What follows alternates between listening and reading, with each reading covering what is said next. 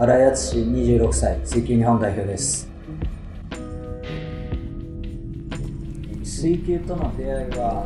兄の付き添いでスイミングクラブに行った時に水球を見て衝撃を受けた感じですね。実際にやってみると他のスポーツよりも全然難しくて悔しさを覚えたというかそこから水球にどっぷりハマりました。水球を始めた時はただ単純粋に楽しいっていう気持ちでオリンピック選手っていうのはまた夢の夢でしたしそこからまあ今になって楽しいっていう気持ちは全く変わらないリオのオリンピックに出場してオリンピックの素晴らしさっていうものを感じられたので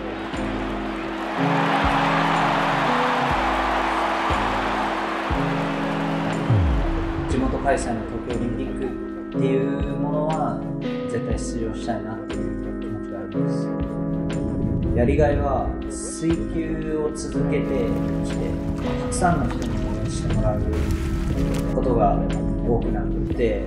その人たちを楽しませたいとか喜んでもらいたいっていうものが自分の中で大きくなってきたので今水球を続けられてるのはそれかなっていうふうに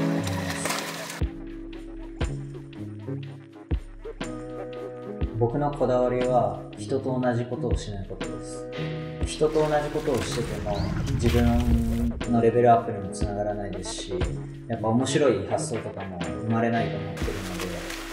プレー中は特にですけど相手とか仲間が想像しないよ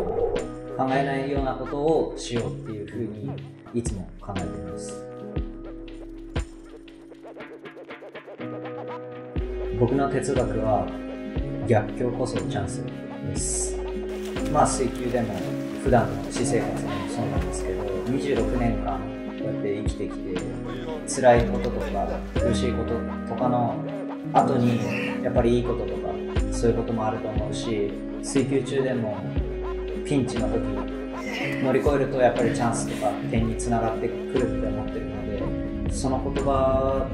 にはすごい救われてますし自分の哲学になってます。